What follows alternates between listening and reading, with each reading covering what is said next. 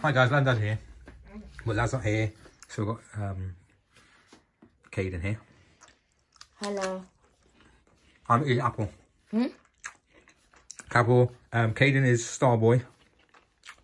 Starboy to the rescue. And what you just made, Caden? Hot chocolate. A hot chocolate.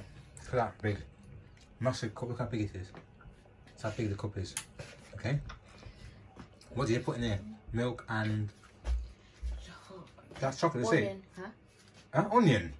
yeah. You mean honey? yeah, boiling water. Oh, boiling water. Yeah. And then powder. Okay, so you need sweetener then. So this is his cup. Look how big it is. And today we're doing a comparison. Are we?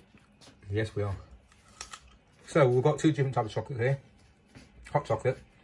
Which one's that? What's that called? I don't know. Bellarom. Bella Rom. Hot chocolate instant. Just add water. So I presume this will have a milk powder in it because obviously it's instant. So let's have a look at the ingredients. It's from Lidl. Uh, where's the ingredients? Glucose, sugar, glucose.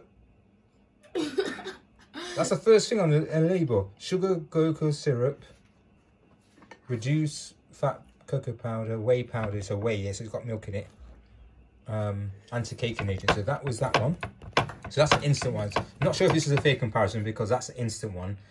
What it means by instant, as soon as you put hot water in it, because it's got milk in it already, you don't need to add milk.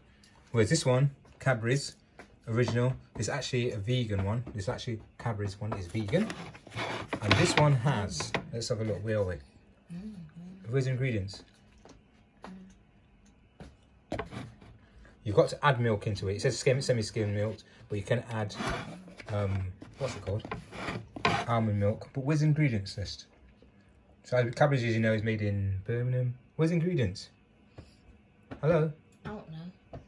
Ingredients. Where are the ingredients? Oh, it's there.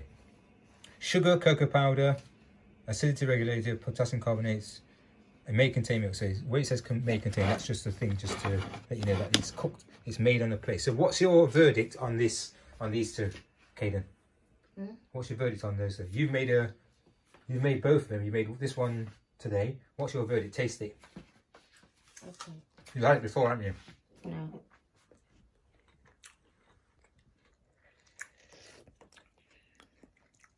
Um, Which one would you say is the best one? In terms of taste. probably Cadbury's. Cadbury's. So there's your verdict, guys. Cadbury's seems to be the best. Okay, that one's from Lidl. Actually, Cadbury's is from Cadbury's, and he's just had a sip of that taste test. All right, guys. See you soon. Peace. Let's go for his snacks now.